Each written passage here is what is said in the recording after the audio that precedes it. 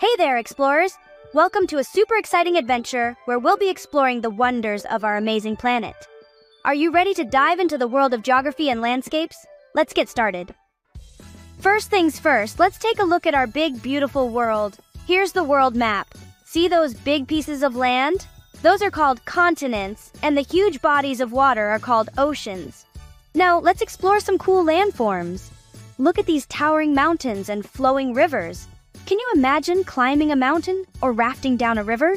So much fun. And check out these vast deserts and deep valleys. Nature is truly amazing. Did you know that different parts of the world have different climates? Some parts are snowy and cold, some are just right, and others are hot and sunny. It's like having different weather zones on our planet. Our world is not just about landscapes.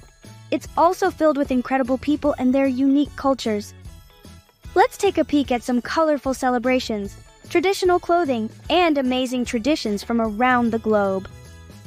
Look at these adorable animals.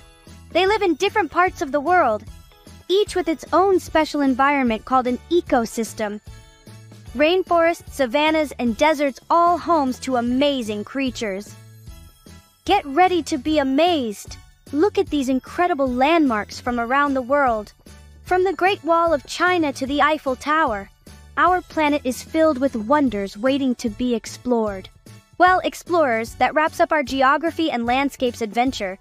We've traveled the world, learned about amazing landforms, met fantastic animals, and explored diverse cultures.